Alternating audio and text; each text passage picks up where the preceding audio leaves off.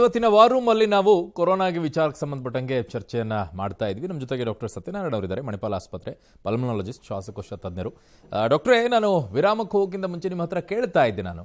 ಸಾಮಾನ್ಯವಾಗಿ ಚಳಿಗಾಲದಲ್ಲಿ ಕಾಣಿಸ್ಕೊಳ್ಳುವಂಥದ್ದು ಈ ಕೆಮ್ಮು, ಗಂಟ್ಲು ಕೆರೆತ ಜೊತೆಗೆ ಜ್ವರ ಬರುತ್ತೆ, ಮೈಕೈ ನೋವು ಜಾಸ್ತಿ ಇರುತ್ತೆ. ಬೈಫ್ರಿಕೇಶನ್ ಹೇಗೆ ಮಾಡೋದು? ಈಗ ಗಾಬರಿ ಆಗ್ಬಿಡುವಂಥದ್ದಾ? ಕೊರೋನಾನ ಇದಾ ಅಂತ ಹೇಳಿ, ಡಾಕ್ಟ್ರೇ. ಇಲ್ಲ ಇವಾಗ ನಮ್ಮ ಹೆಲ್ತ್ ಮಿನಿಸ್ಟರ್ ಆದ ಶ್ರೀಯುತ ಸುಧಾಕರ್ ಅವರು ಹೇಳಿರೋ ತರ ಸಾರಿ ಮತ್ತೆ ಐ ಎಲ್ ಐ ಅಂದ್ರೆ ಚಳಿ ನೆಗಡಿ ಕೆಮ್ಮು ಜ್ವರ ಉಸಿರಾಟಕ್ಕೆ ತೊಂದರೆ ಇವ್ಯಾವುದೇ ಇರಲಿ ಅಥವಾ ಇದರಲ್ಲಿ ಒಂದು ಮೂರು ನಾಲ್ಕು ಇರಲಿ ನೀವು ನಾವು ಅತಿ ಬುದ್ಧಿವಂತಿಕೆ ಉಪಯೋಗಿಸಿ ಡಿಫ್ರೆನ್ಶಿಯೇಟ್ ಮಾಡೋದು ಬೇಕಾಗಿಲ್ಲ. ಒಂದು ಸ್ವಾಬ್ ಮಾಡಿಸಿ ಸ್ವಲ್ಪ ಐಸೋಲೇಟ್ ಮಾಡ್ಕೊಳ್ಳಿ. ಈ ಎರಡೇ ಮಾಡಬೇಕಾಗಿರೋದು. ಡಾಕ್ಟರ್ನ ಇವಾಗ ರಿಮೋಟ್ ಟೆಲಿ ಕನ್ಸಲ್ಟೇಷನ್ ಅಲ್ಲೂ ಕಾಣ್ಬೋದಲ್ಲ? ಸೊ ಆ ರೀತಿಯಿಂದ ನಾವು ಬಿಹೇವ್ ಮಾಡಬೇಕು ಅನ್ನೋದು ಒಂದು ಗೈಡ್ಲೈನ್ ಪ್ರಕಾರ ಇವಾಗ ಜಾರಿಗೊಂಡಿರೋದು. ಸೊ ಅವಾಗ ಈಸಿಯಾಗಿ ಗೊತ್ತಾಗತ್ತೆ ಡಿಫ್ರೆನ್ಸ್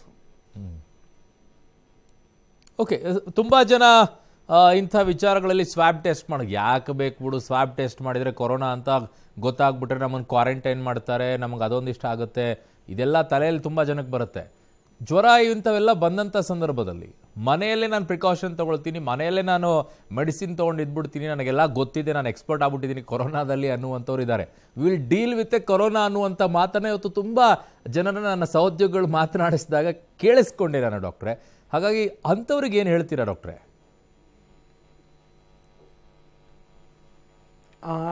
ಅವರೆಲ್ಲ ಪಾಪ ಒಳ್ಳೆ ರೀತಿಲಿ ಹೇಳಿರ್ಬೋದೇನೋ we will deal with corona ಅಂದ್ರೆ ನಾವು ಎಲ್ಲ ಸರ್ಕಾರದ ಆದೇಶಗಳು ಹೆಲ್ತ್ ಡಿಪಾರ್ಟ್ಮೆಂಟ್ ಎಲ್ಲ ಆದೇಶಗಳನ್ನು ನಾವು ಪರಿಪಾಲಿಸ್ತೀವಿ ಅನ್ನೋದನ್ನ we will deal with it ಅಂತ ಹೇಳಿರ್ಬೋದು. ಸೊ ಎರಡನೇದಾಗಿ ಅದಕ್ಕೆ ಪ್ರತಿಯಾಗಿ ಯಾರು ಅಭಿಪ್ರಾಯ ವ್ಯಕ್ತಪಡಿಸಿದ್ರೆ ದಯವಿಟ್ಟು ಆ ಥರ ಮಾಡಬೇಡಿ. ಯಾಕೆಂದ್ರೆ ಈಗ ನಾಲ್ಕು ವೇವ್ ಸರ್ವೈವ್ ಆಗಿದ್ದೀವಿ ಇದೊಂದು ಬರ್ಬೋದು ಬರದೇ ಇರ್ಬೋದು. ಬಂದರೂ ಇದು ಒಂಥರ ಆಡು ಭಾಷೆಯಲ್ಲಿ ನಾವು ಮಾತಾಡ್ದಂಗೆ ಇದು ಟುಸ್ ಪಟಾಕಿ ಥರ ಇರ್ಬೋದು. ನಾವು ಅಂತ ಹೆದರ್ಕೊಳ್ಳೋದು ಬೇಕಾಗಿಲ್ಲ. ನಮ್ಮಲ್ಲಿ ಚೈನಾಲ್ ಕಂಪೇರ್ ಮಾಡಿದ್ರೆ ನಮ್ಮಲ್ಲಿ ಆ ರೀತಿ ವಿಜೃಂಭಿಸಕ್ಕೆ ಆಗ ಆಗುವುದಿಲ್ಲ. ಅದು ಸಾಧ್ಯತೆ ಕಾಣಲ್ಲ. ಅಲ್ಲಿ ಹತ್ತು ಹಲವು ಕಾರಣಗಳಿಂದ ದೊಡ್ಡದಾಯಿತು. But anyway as a citizen's duty ನಾವು ಮಾಡಬೇಕಾಗಿರೋದು ನಿರ್ಲಕ್ಷ್ಯ ಮಾಡೋದು ಮಾತ್ರ ಮಾಡಬಾರ್ದು. ಸೊ ಇಲ್ಲೂ ಅದೇ ಪರಿಸ್ಥಿತಿ ಬರುತ್ತೆ. ಅಂದರೆ ಯಾವಾಗ ಬಿ ಎಫ್ ಸೆವೆನ್ ಅಂಥ ಪ್ರಬಲ ವೈರಸ್ ಅಲ್ಲ ನಮ್ಮ ದೇಶದಲ್ಲಿ ಅಂತ ಗೊತ್ತಾಗತ್ತೋ ಅವಾಗ ಸ್ವತಃ ಜನರೇನೆ ಅಯ್ಯೋ ಮನೇಲಿ ಬೇಕಾದ್ರೆ ಒಂದು ಕಿಟ್ ಇಟ್ಕೊಂಡು ಚೆಕ್ ಮಾಡ್ಕೋತೀನಿ. ಈ ಥರ ಎಲ್ಲ ಮಾಡ್ತಾರೆ. ಬಟ್ ಆದರೆ ನಾವು ಫೋಕಸ್ ಮಾಡಬೇಕಾಗಿರೋದು ಆನ್ ವಲ್ನರಬಲ್ ಗ್ರೂಪ್ಸ್ ಯಾರು ಹೈ ರಿಸ್ಕಲ್ಲಿರ್ತಾರೆ ಮಧುಮೇಹ ಕಾಯಿಲೆ ಇರ್ಬೋದು ಮೂತ್ರಪಿಂಡ ಕಾಯಿಲೆ ಇರ್ಬೋದು ಕಸಿ ಆರ್ಗನ್ ಕಸಿ ಆಗಿರ್ಬೋದು ಟ್ರಾನ್ಸ್ಪ್ಲಾಂಟ್ ಆಗಿರೋವಂಥವ್ರು ಅರವತ್ತೈದರ ಮೇಲ್ಪಟ್ಟವರು ಮತ್ತು ಮೂರಕ್ಕಿಂತ ಹೆಚ್ಚು ಕಾಯಿಲೆಗಳು ಇರೋರು ಮತ್ತೆ ಇಮ್ಯೂನ್ ಸಪ್ರೆಸಿವ್ಸ್ ತಗೊಳ್ಳೋರು ಈ ತರದವ್ರೆಲ್ಲರೂ ಇದ್ದಾಗ ಅಂಥ ಪೇಷಂಟ್ಸ್ಗೆ ನೀವು ಇನ್ಫೆಕ್ಷನ್ ಬರೋದನ್ನು ತಪ್ಪಿಸ್ಬೋದು ನೀವು ಎಚ್ಚರ ತಗೊಂಡ್ರೆ ಅಥವಾ ಅಂಥವರಲ್ಲಿ ಕಾಣಿಸ್ಕೊಂಡ್ರೆ ನಿರ್ಲಕ್ಷ್ಯ ಮಾತ್ರ ಮಾಡಬೇಡಿ.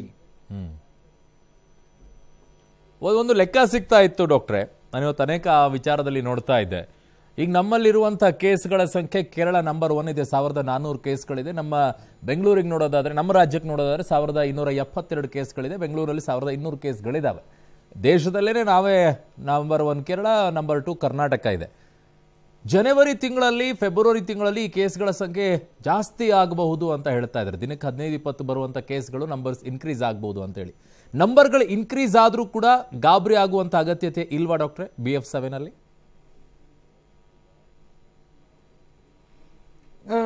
ಬಟ್ ವೈರಸ್ ಯಾವ ರೀತಿ ಮೂಡುತ್ತೆ? ಓಮಿಕ್ರಾನ್ ತರ ವೆರಿ ವೆರಿ ಮೈಲ್ಡ್ ಸಿಂಪ್ಟಮ್ ಬಂತೋ ಇಲ್ವೋ ಗೊತ್ತಾಗಲ್ಲ. ಆ ಥರದ್ರಲ್ಲಿದ್ರೆ ನಂಬರ್ ಇನ್ಕ್ರೀಸ್ ಆದರೆ ಒಂದೇ ಒಂದು ಡಿಸ್ಅಡ್ವಾಂಟೇಜ್ ಎಷ್ಟೇ ಮೈಲ್ಡ್ ಆದ್ರೂ ಯಾರು ಈ ಸ್ಪೆಷಲ್ ಕ್ಯಾಟಗರಿ ನಾ ಮೆನ್ಷನ್ ಮಾಡಿದೆ ಆ ಥರದ್ರಲ್ಲಿ ಇದು ಬೇರೆ ಥರನೇ ಬಾಸಕ್ಕೆ ಬರಬಹುದು. ಕ್ಯಾನ್ಸರ್ ಸರ್ವೈವರ್ಸ್ ಕಿಡ್ನಿ ಟ್ರಾನ್ಸ್ಪ್ಲಾಂಟ್ ಆಗಿರೋರು ಕಿಡ್ ಡಯಾಲಿಸಿಸ್ ಅಲ್ಲಿರೋರು ಇಂಥವರಲ್ಲಿ ಇದು ಸ್ವಲ್ಪ ಸೀರಿಯಸ್ ಆಗಿ ಕಂಡು ಬರ್ಬೋದು. ಸೊ ನಂಬರ್ಸ್ ಜಾಸ್ತಿ ಆದಾಗ ನಮ್ಗೆ ಹೆದರಿಕೆ ಆಗೋದೇನು ಅಂದರೆ ಈ ಹೆಲ್ತ್ ಕೇರ್ ಸೆಟ್ಟಿಂಗ್ಸ್ ಏನೇನು ಜಾಗಗಳು ಮಾಡಿರ್ತೀರೋ ಅದೆಲ್ಲಾನು ಒಂದೇ ಸತಿ ಆಕ್ಯುಪೈ ಆಗುವಂಥ ಪರಿಸ್ಥಿತಿ ಆಗಬಾರದು. ದೇರ್ ಫೋರ್ ನಂಬರ್ಸ್ ರೈಸ್ ಆದರೆ ಪರವಾಗಿಲ್ಲ. ಬಟ್ ಇಲ್ನೆಸ್ ಮೈಲ್ಡ್ ಆಗಿದ್ರೂ there should be a longer time towards peak ಡಾಕ್ಟ್ರೆ ಹೆಲ್ತ್ ಕೇರ್ ಸಿಸ್ಟಮ್ ಓವರ್ವೆಲ್ಮ್ ಆಗಬಾರ್ದು. ಎಸ್ ಡಾಕ್ಟ್ರೆ. ನಾವು ಇವೆಲ್ಲ ನೋಡಾಗಿದೆ ಈಗ ಒಂದನೇ ಅಲೆ ಎರಡನೇ ಅಲೆ ಮೂರನೇ ಅಲೆ ವಿಚಾರದಲ್ಲಿ. ಬಟ್ ಈಗ ಬರ್ತಾ ಇರುವಂಥದ್ದು. ನಾನು ಬರಬಾರ್ದು ಅಂತಲೇ ಆಶಿಸ್ತಾ ಇದ್ದೀನಿ. ನಮ್ಮ ಅವುಗಳನ್ನೆಲ್ಲ ನೋಡಿಬಿಟ್ಟು ಸ್ವತಃ ನಾನೇ ಅನುಭವಿಸಿರೋ ಯಾತನೆ ಇದೆ ವಿಚಾರದಲ್ಲಿ. ಬಟ್ ನನಗಿರುವಂಥದ್ದೇನು ಅಂದರೆ, ಒಂದು ವೇಳೆ ಆ ರೀತಿಯಾದಂಥ ಎಕ್ಸ್ಟ್ರೀಮಿಸಮಿಗೆ ಮತ್ತೆ ಹೋಗುವಂಥ ನಮ್ಮ ಪರಿಸ್ಥಿತಿ ಬಂದರೆ, ಅದನ್ನು ನಿಭಾಯಿಸುವಂಥ ಮಟ್ಟಕ್ಕೆ ನಾವು ರೆಡಿ ಇದ್ದೀವಾ ಈಗ? ಅಥವಾ ಅದೇ ಪರಿಸ್ಥಿತಿ ಬರುತ್ತಾ? ಎರಡು, ಎರಡನೇ ಅಲೆಯಲ್ಲಿ ನಾವು ನೋಡಿದ್ವಲ್ಲ, ಬೆಡ್ ಸಿಗಲಿಲ್ಲ, ಅದು ಸಿಗಲಿಲ್ಲ ಅನ್ನುವಂಥ ಪರಿಸ್ಥಿತಿಗೆ. ನಾನು ಎಕ್ಸ್ಟ್ರೀಮಿಸಮಲ್ಲಿ ಕೇಳ್ತಾ ಇದ್ದೀನಿ. ಹಂಗಾಗೋದಿಲ್ಲ. ಆಗ್ಲೂಬಾರ್ದು ಅಂತ ಆಶಿಸ್ತೀನಿ. ಬಟ್ ಆಗೋದಾದ್ರೆ ಡಾಕ್ಟ್ರೆ.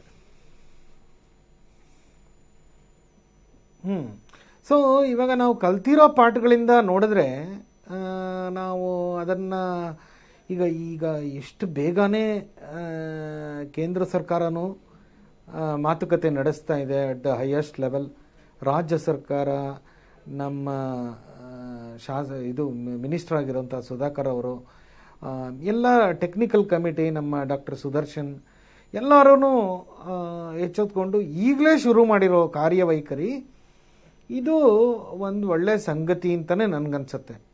ಬೇಗನೆ ಈ ಸತಿ ತಯಾರಾಗ್ತಾ ಇದ್ದೀವಿ it's a very good thing to happen so last ಮಿನಿಟಲ್ಲಿ ನಾವು ಅದು ಮಾಡಿದ್ದೀವಿ ಇದು ಮಾಡಿದ್ದೀವಿ ಅನ್ನೋದಕ್ಕಿಂತ ಈಗ ಖಾಸಗಿ ಆಸ್ಪತ್ರೆಗಳು ವೈದ್ಯಕೀಯ ಸಂಸ್ಥೆಗಳು ಇದೆಲ್ಲ ಕಾಲೇಜುಗಳು ಎಲ್ಲ ಕಡೆಗೂ ಟೆಕ್ನಿಕಲ್ ಕಮಿಟಿ ಮತ್ತು ಸರ್ಕಾರ, ನಮ್ಮ ಹೆಲ್ತ್ ಕಮಿಷನರ್ ಎಲ್ಲರೂ ಮಾತುಕತೆ ನಡೆಸ್ತಾ ಇದ್ದಾರೆ. ಸೊ ಹಾಗಾಗಿ ಬೆಡ್ ಬೇಕಾಗುವಂಥ ಪರಿಸ್ಥಿತಿ ಆದರೆ ಬೆಡ್ ರೆಡಿ ಇರಬೇಕು. ಮತ್ತು ಮಾಸ್ಕ್ ಬಗ್ಗೆ ಗೈಡ್ಲೈನು ವ್ಯಾಕ್ಸೀನು ಮತ್ತು ಹೆಲ್ತ್ ಕೇರ್ ಡೆಲಿವರಿ ಆರ್ಮ್ಸ್ ಯಾವ ರೀತಿಯಾಗಿ ಮೆಡಿಸಿನ್ಸ್ ಸಿಗಬೇಕು, ಯಾವ ರೀತಿ ಸರಬರಾಜು ಮಾಡಬೇಕು ಅದನ್ನು, ಎಲ್ಲ ಒಟ್ಟಾರೆ ಪ್ಲಾನಿಂಗ್ ನಡೀತಾ ಇದೆ. Okay okay. ತುಂಬ ಧನ್ಯವಾದಗಳು ಡಾಕ್ಟ್ರೆ. ನಮ್ಮ ಜೊತೆಗೆ ದೀರ್ಘವಾಗಿ ನಿಮ್ಮ ಸಮಯವನ್ನು ಕೊಟ್ಟಿದ್ದಕ್ಕೆ ತುಂಬ ಧನ್ಯವಾದಗಳು ಡಾಕ್ಟ್ರೆ. Yes yes thank you sir thank you ಡಾಕ್ಟ್ರೆ.